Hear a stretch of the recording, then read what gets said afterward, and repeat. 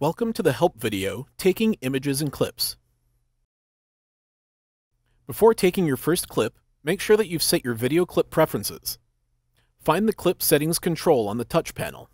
You may need to scroll down to find it. Tap Clip Settings to open the Settings dialog box. Then select how you want the system to take your clips and your clip length.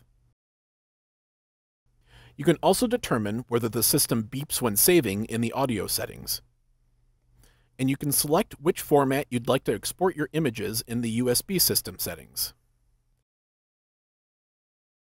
To take an image, simply press the Save Image button, or freeze the image and scroll through the Cinebuffer to go to the appropriate image. Then you can press Save Image. To take a clip, press the Clip button. The clip will record for the length of time that you've set.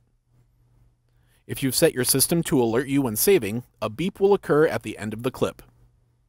If you want to stop the clip earlier, just press the button again. To review the current exam, tap on a thumbnail image or clip. The selected image will appear on the clinical monitor.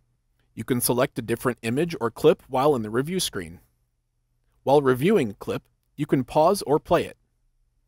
To continue imaging, tap Exit Review. What if you want to add more images and clips to an exam that is already ended? You can quickly start a new exam that contains the same patient information. You'll first need to display the study list. Select a study from the list and tap Append. Now you can choose to modify data, or you can select Scan to start a new exam with the same patient data. Now, let's export your data. First, insert your USB device, then display the study list from the patient form.